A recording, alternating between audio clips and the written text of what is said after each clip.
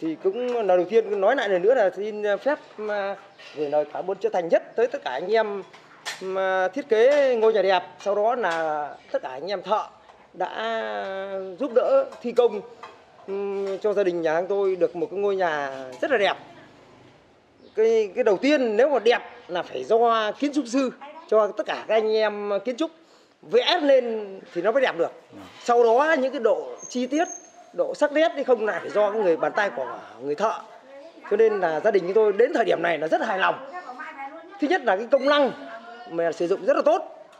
Tức là cái phòng ngủ này phòng khách phòng thờ rồi nhà ăn. Vâng. sau đó là thềm bậc ra ngoài thì cho nó, nó rất hài hòa. Đấy là cái, cái, cái tâm niệm của chúng tôi thì ờ, các đồng chí ở trong cái kiến trúc sư đã thực hiện đúng đúng được cái trong cái tâm niệm của chúng tôi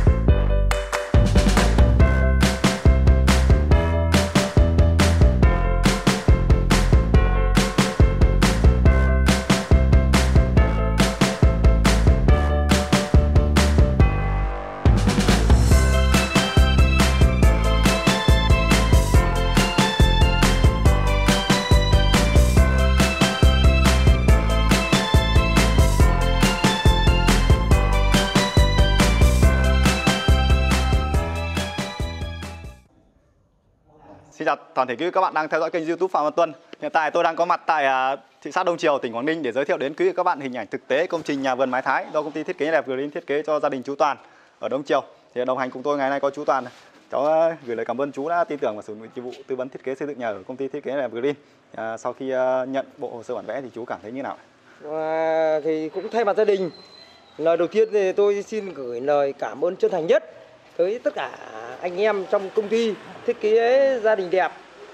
Cái tâm niệm của gia đình chúng tôi ấy bắt đầu, bây giờ chúng tôi, cái tâm niệm chúng tôi đã thích hướng về những cái xu thế là là phải có ờ, bản thiết kế.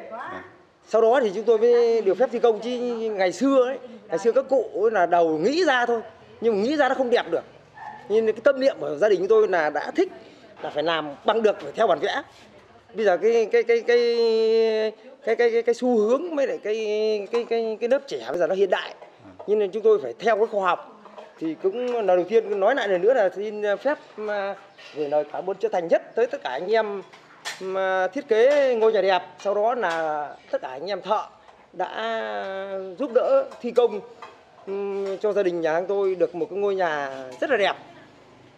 Cái cái đầu tiên nếu mà đẹp là phải do kiến trúc sư cho tất cả các anh em kiến trúc vẽ lên thì nó mới đẹp được. Sau đó những cái độ chi tiết độ sắc nét thì không là phải do cái người bàn tay của người thợ. Cho nên là gia đình chúng tôi đến thời điểm này là rất hài lòng.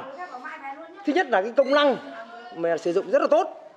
Tức là cái phòng ngủ này phòng khách phòng thờ rồi nhà ăn. Vâng. sau đó là thềm bậc ra ngoài thì cho, cho nó, nó rất hài hòa. Đấy là cái, cái tâm niệm của chúng tôi thì ờ, các đồng chí ở trong cái kiến trúc sư đã thực hiện đúng đúng được cái trong cái tâm niệm của chúng tôi.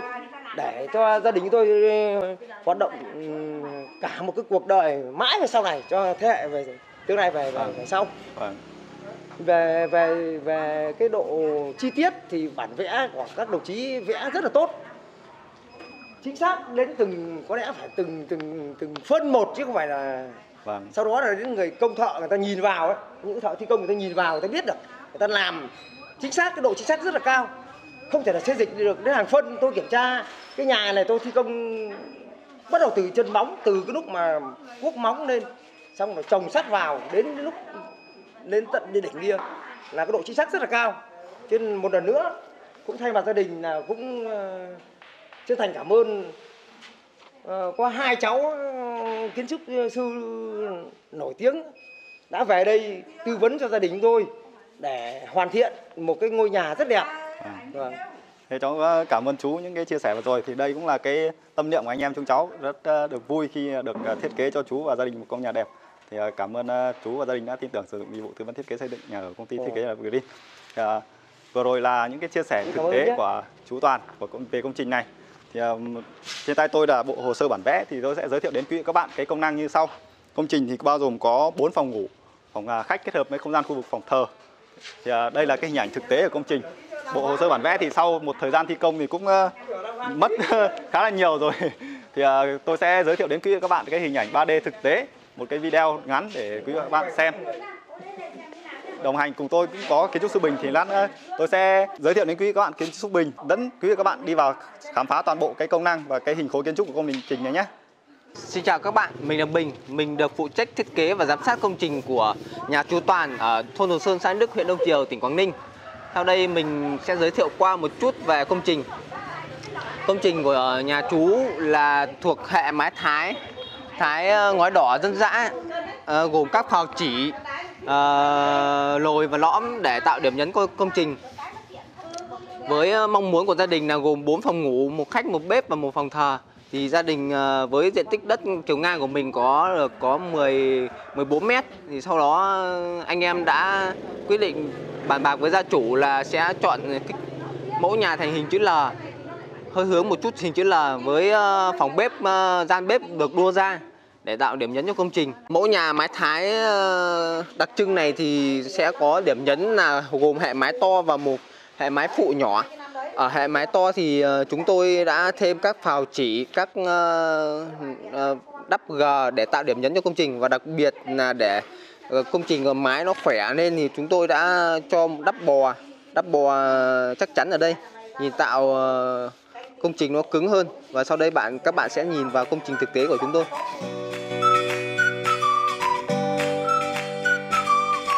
Xin mời các bạn cùng vào công trình ờ, để khám phá không gian bên trong của công trình. Ờ, gia chủ ờ, bởi vì là để cân đối với hệ mái bên trên mà thân của ngôi nhà thì gia chủ đã muốn hệ năm bậc, hệ tam cấp 5 bậc thì bên mình đã thiết kế hệ tam cấp 5 bậc cho gia chủ. Mặt bậc của mình là 300 là phù hợp với một mặt chân của người Việt Nam và cổ bậc của mình là 156 và đúng ờ, số đẹp cho gia chủ. Cần nát thêm ờ, đá thêm hai phân lớp đá nữa. Sau đó các bạn đi tiếp vào bên trong công trình.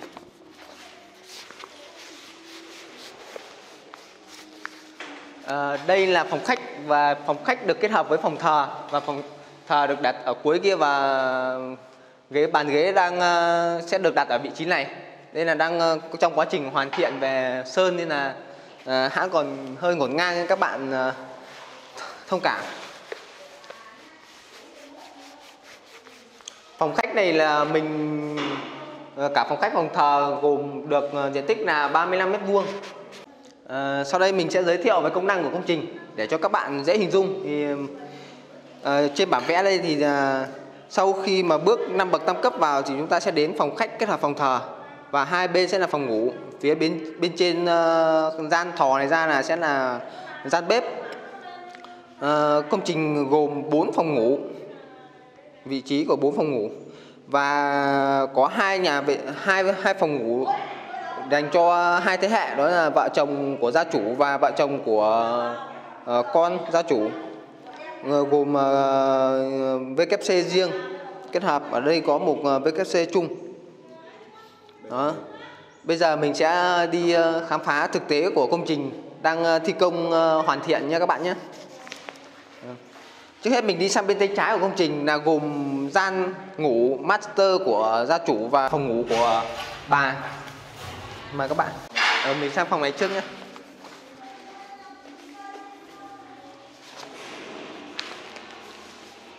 Ờ, đây là phòng ngủ của bà gồm hai cửa sổ 700 x 1008 và cốt là 800 giường mình sẽ đặt đây và ở bên này là vệ sinh chung của ờ, cả công trình. Thì trên đây ờ, bởi vì chiều cao của mình rất là cao, nên mình sẽ bố trí thêm một cái kho để để đồ trên đây. Thì khi mà bước vào nhà vệ sinh thì mình sẽ không không bị quá hụt hẫng bởi vì chiều cao của nhà vệ sinh.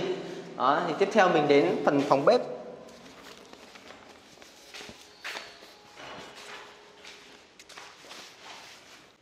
Phòng phòng bếp mình đang uh, trong quá trình uh, hoàn thiện ốp lát uh, ờ, và sơn.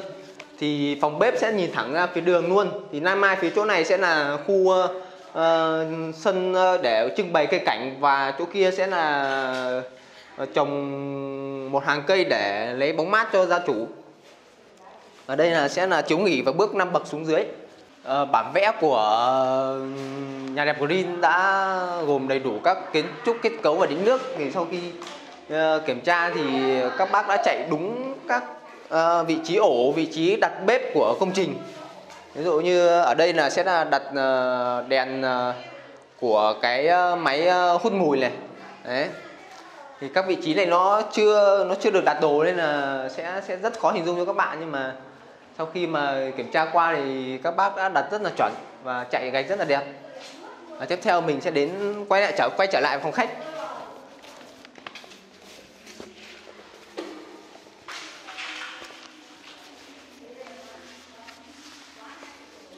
Khi mà bước vào từ sảnh vào thì sang bên tay uh, à, trái của công trình thì là sẽ là phòng ngủ của hai cậu con trai. Một cậu uh, sinh viên uh, đại học và một cậu uh, đang đi làm và sắp lấy vợ anh cho em đi nhờ chút.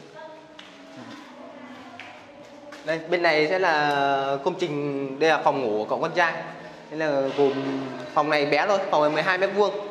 Và phía bên này sẽ là tường âm để cho để che cái tủ đi. Và đặt phòng ngủ đây hai vị trí của hai cái ờ, ổ điện để cắm đèn và có thể là bàn làm việc. Và vị trí này sẽ là để tivi. Vị trí này sẽ là để tivi để để,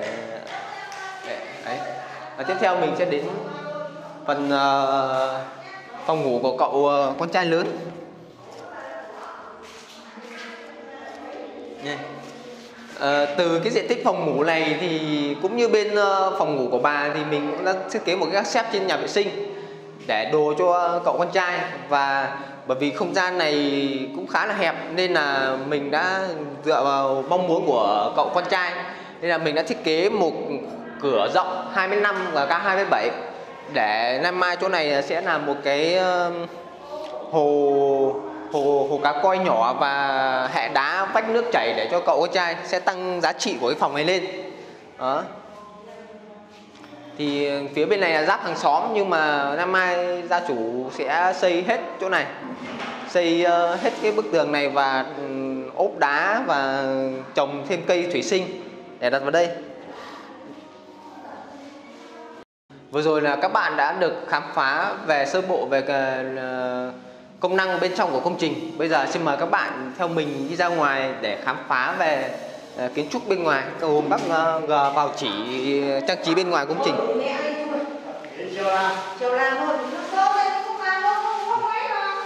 À, xin mời các bạn à, đi ra ngoài công trình để khám phá.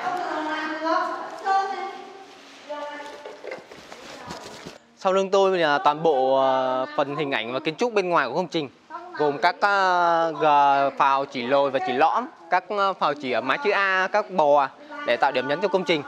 Và chúng tôi tất cả các phào chỉ đều tính toán làm sao mà đặt đúng một viên gạch xong rồi cả lớp vữa lớp chát để tiện cho việc thi công. Quý vị và các bạn sau khi mà xem qua công trình thì nếu mà các bạn thích mẫu nhà mái thái nhà vườn mái thái này thì hãy liên hệ với công ty của chúng tôi.